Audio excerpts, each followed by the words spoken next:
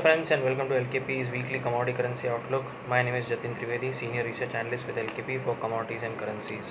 So, uh, so this week uh, we are looking at you know the market to be on a very sideways to uh, a little bit on the negative side uh, for currencies and commodities both.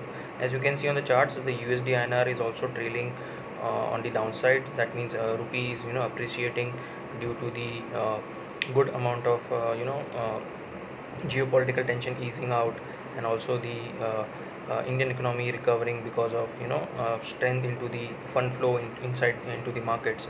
Also, we have seen you know on the opening day of April month, that is uh, the 4th April, that uh, HDFC twins have been merged. Uh, entity have been are we going to uh, into a merged entity, which is also going to you know flow funds into the uh, Indian markets, which is helping the rupee to appreciate so till the time rupee is uh, you know below 76.25 on immediate basis uh, till then uh, markets look uh, you know positive for the rupee side uh, USD INR can be looked at as a negative aspect going ahead.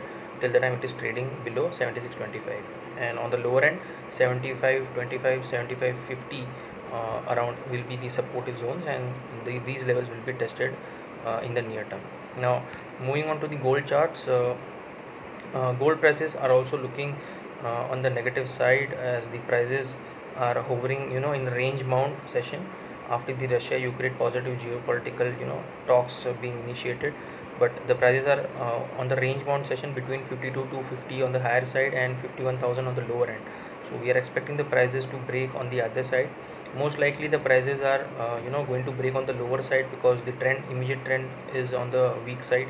As you can see the 20, uh, the moving average uh, is also indicating sideways movement and but the MACD and the other indicators like super trend are indicating weakness onto the counter. So we are expecting the prices to move on the downside towards uh, 50000 49000 as the time uh, goes by. And the next uh, big trigger for gold prices is the fed policy meet uh, which is next month. And this is going to show the direction for the gold price